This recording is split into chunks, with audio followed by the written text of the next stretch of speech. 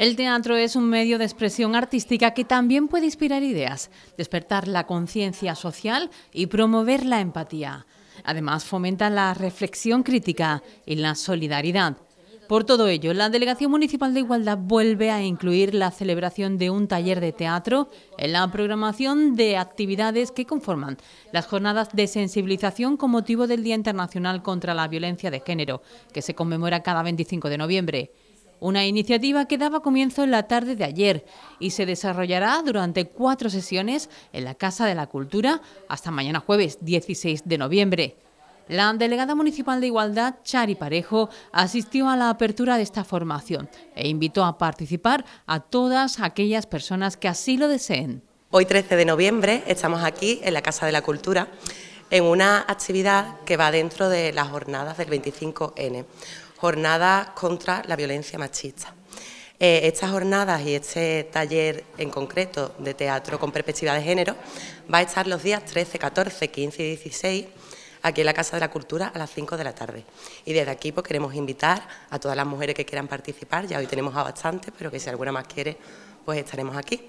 Eh, el taller va a ser de la mano de Rosalinda Galán, actriz, compositora, cantadora, feminista. Estamos encantados de tenerla aquí un año más compartiendo con nosotros. Tal y como ya lo hiciera el pasado año, la persona que ya se encarga de impartir este taller de teatro vuelve a ser la actriz y cantante palaciega Rosalinda Galán, que en esta ocasión centrará las enseñanzas en construir un personaje, fomentando la libertad creativa de los participantes. Para mí es un gustazo repetir talleres en los palacios por las jornadas del 25N. El año pasado hicimos un, taller de teatro con perspectiva de género y este año el taller está más centrado en aprender a construir un personaje eh, de hecho, le he puesto el nombre, bueno, Stanislavski, que es el gran maestro del teatro y de la construcción del personaje, tiene un libro eh, muy necesario para todos los actores y actrices que se llama La construcción del personaje.